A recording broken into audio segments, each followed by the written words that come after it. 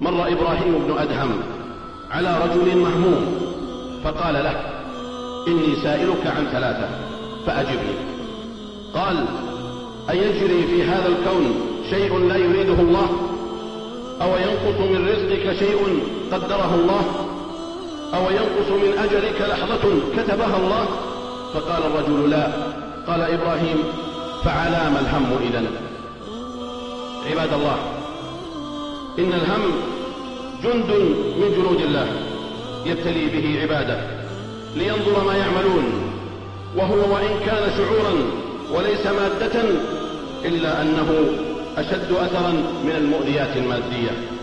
ويؤكد ذلك ما ذكره علي بن أبي طالب رضي الله عنه حينما سئل من أشد جند الله؟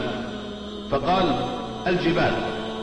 والجبال يقطعها الحديد فالحديد أقوى. والنار تذيب الحديد فالنار أقوى. والماء يطفئ النار فالماء أقوى. والسحاب يحمل الماء فالسحاب أقوى. والريح تعبث بالسحاب فالريح أقوى. والإنسان يتكفأ الريح بيده وثوبه فالإنسان أقوى. والنوم يغلب الإنسان فالنوم أقوى.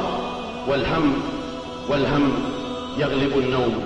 فأقوى جند الله هو الهم يسلطه الله على من يشاء من عباده.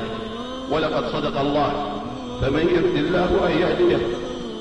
يشرح صدره للإسلام ومن يريد أن يضله يجعل صدره ضيقا حرجا كأنما يصعد في السماء. كذلك يجعل الله الرجس على الذين لا يؤمنون. بارك الله لي ولكم في القرآن العظيم. ونفعني وإياكم بما فيه من الآيات والذكر الحكيم. أقول قولي هذا وأستغفر الله لي ولكم ولسائر المسلمين والمسلمات من كل ذنب. فاستغفروه إنه هو الغفور الرحيم.